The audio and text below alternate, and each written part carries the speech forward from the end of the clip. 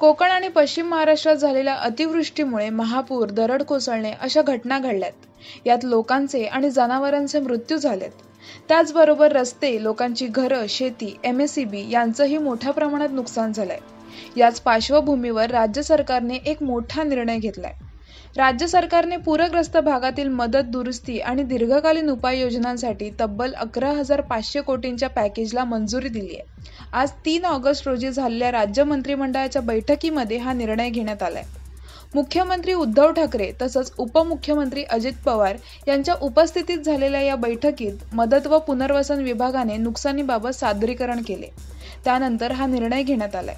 राज्याचे मदत व पुनर्वसन मंत्री विजय वडेट्टीवार यांनी पत्रकार परिषदेत ही माहिती दिली.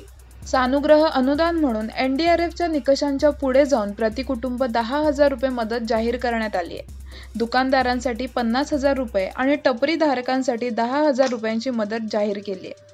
पूर्ण घर पडलं असल्यास दीड लाख घराचं पन्नास टक्के नुकसान झालं असल्यास पन्नास हजार रुपये आणि पंचवीस टक्के नुकसान झालेल्या घरांसाठी पंचवीस हजार रुपये तर अंशतः नुकसान झालेल्या घरांसाठी किमान पंधरा हजार रुपयांची मदत जाहीर करण्यात आली आहे. चार हजार चारशे प्राण्यांचा या आपत्तीमध्ये मृत्यू झालाय. यासाठी साठ कोटींची वेगळी रक्कम जाहीर करण्यात आली आहे. शेती नुकसानीच्या प्राथमिक अंदाजानुसार सुमारे चार लाख हेक्टर शेतीचं नुकसान झालंय. बागायती जिरायतीसाठी सविस्तर निर्णय जाहीर करण्यात येणार आहे.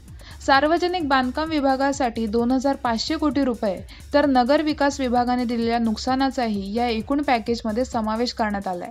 चार ऑगस्टपासून या निर्णयांची अंमलबजावणी सुरू होणार आहे. दरम्यान नुकसान भरपाई सोबतच मृतांच्या नातेवाईकांसाठी देखील आर्थिक मदतीची घोषणा करण्यात आली यामध्ये एस डी आर एफच्या निकषांनुसार चार लाख रुपये मुख्यमंत्री रिलीफ फंड मधून एक लाख रुपये ज्यांच्या नावावर सातबारा आहे अशा शेतकऱ्यांसाठी गोपीनाथ मुंडे अपघात विमा रकमेतून दोन लाख रुपये तर पंतप्रधानांनी जाहीर केलेले दोन लाख रुपये अशी आर्थिक मदत करण्यात येणार असल्याची माहिती विजय वडेट्टीवार यांनी पत्रकार परिषदेत दिली आहे.